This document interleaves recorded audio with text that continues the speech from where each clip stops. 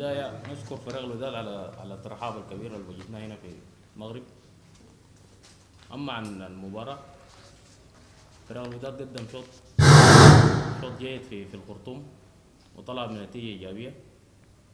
ده ممكن يساعد في الكرة الثانية هنا في في المغرب. لكن ده ما بيعني إنه يدخل لأنه عندنا لأنه عندنا القابلية إنه ممكن يدخل ونسأل الله التوفيق.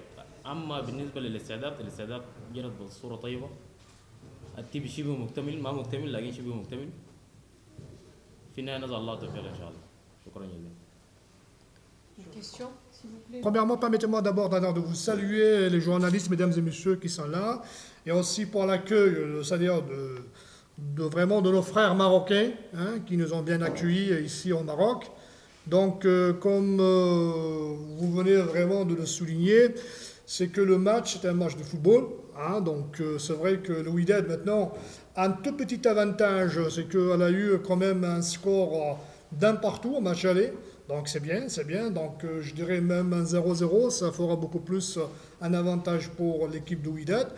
Mais bon, maintenant, sachant qu'on n'est pas venu comme touriste, hein, malgré que vous avez un très beau pays, mais malheureusement, on est venu pour jouer. Donc, euh, on garde toujours nos, nos chances sur le terrain. C'est pas euh, vraiment des chances exactes, le football.